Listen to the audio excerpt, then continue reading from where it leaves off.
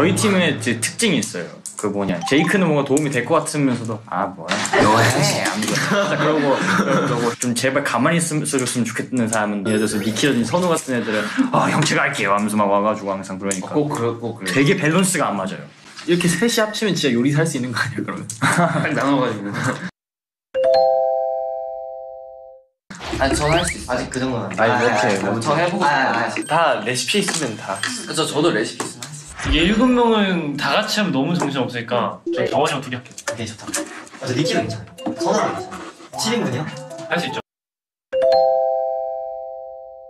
아, 저 설거지 진짜 싫어하는데. 저 멤버들이 설거지하는 그릇으로 먹을 자신 그 그렇게 먹는 거 좀 있어. 근데 그거 맞긴 해. 딱 믿을만한 사람이 몇 명 있긴 해요.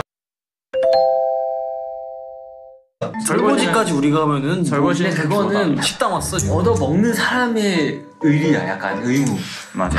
먹었는데 이 설거지 안 한다 그러면 약간 어디 미쳐. 막내들이 지금 형들이 지금 우리가 지금 땀 뻘뻘 흘려가면서 고기 굽고 있는데 거기에 지금 숟가락 하나 못 씻어? 나 때는 나 때는 어? 얼마나 싸울까. 제가 봤을 때밥 먹는 데만 내일의 시간? 마지못을 저를 생각하니까 굉장히 스트레스 받더라고요.